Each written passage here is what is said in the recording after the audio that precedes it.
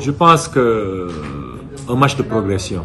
Euh, C'était un match que je, je m'attendais à un match un peu plus difficile que contre l'Ouganda parce que le, le, Soudan du Sud a un peu une jeune équipe sénégalaise. Donc beaucoup de jeux universitaires, beaucoup de talent et une vitesse de, de jeu extraordinaire. Je pense qu'on a bien répondu, mais euh, comme coach, nous, je ne serai jamais satisfait. Donc il y a des leçons toujours à tirer. Mais quand même, je pense que l'intensité a été très bonne et nous a permis quand même de répondre et de gagner ce match.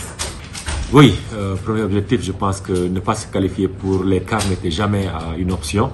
Donc, euh, comme j'ai dit, hein, l'essentiel c'est de, grandir match par match. Voilà. Donc, d'abord il y a le Cameroun. Avant de parler des quarts, nous voulons gagner. D'abord le match, nous voulons grandir. Nous voulons un peu chercher à nous bonifier hein, pour se préparer le plus possible pour les quarts.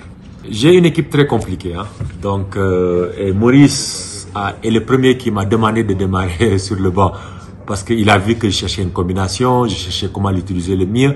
Et comme très euh, bon joueur d'équipe, comme bon, bon coéquipier, il m'a dit, coach, euh, est-ce que tu ne penses pas que je, je sors du banc? J'ai dit, oui, j'étais en train de murmurer. Donc, euh, si vous avez remarqué à Dakar, j'ai essayé différentes combinations.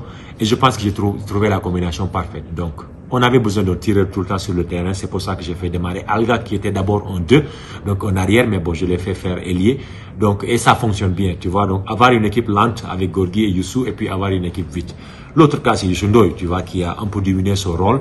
Tu vois, en tant que capitaine, euh, bon, je sais pas si ça lui plaît ou non, mais bon, il, euh, il est quand même en train de, de, de l'accepter, tu vois, et de nous aider à grandir. Aujourd'hui, par exemple, en 13 minutes, il a fait un match excellent. Ça doit être l'esprit de ce groupe.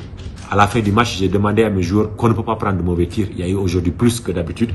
Donc, continuez. Et l'autre exemple que je, les ai donné, c'est regarder l'exemple de Pierre C'est aujourd'hui l'un des meilleurs euh, meneurs de Ligue et il ne cherche pas à tirer, tu vois. Donc, ça doit être un peu notre état d'esprit.